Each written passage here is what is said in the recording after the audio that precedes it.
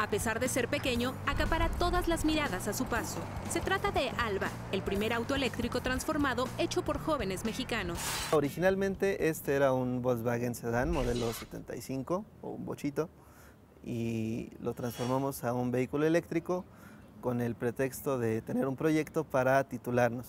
En este vehículo lo que se conserva es la dirección, el sistema de frenado con su líquido de frenos y todo, el chasis, los pisos del Volkswagen y el sistema de transmisión, lo que sería la caja de velocidades. El prototipo que alcanza una velocidad de hasta 70 kilómetros por hora puede conectarse a cualquier enchufe y cargarse en tan solo 8 horas para circular 45 kilómetros. Este carro está diseñado para un trayecto fijo.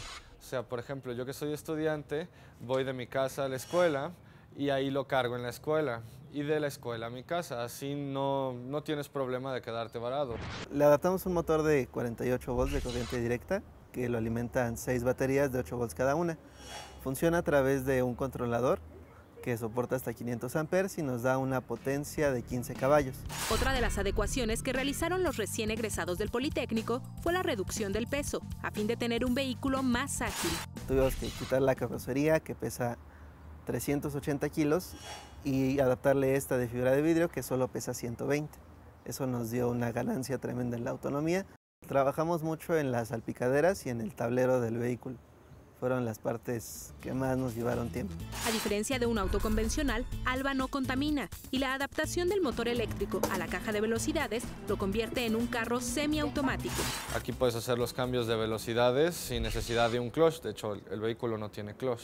La diferencia más grande es el, el sonido, porque este auto no hace ningún sonido, entonces es un poco extraño al principio no ir al motor. Actualmente Daniel y Emilio están a la búsqueda de clientes que quieran renovar sus autos con un sistema eléctrico eléctrico, por lo que ya trabajan en algunas mejoras.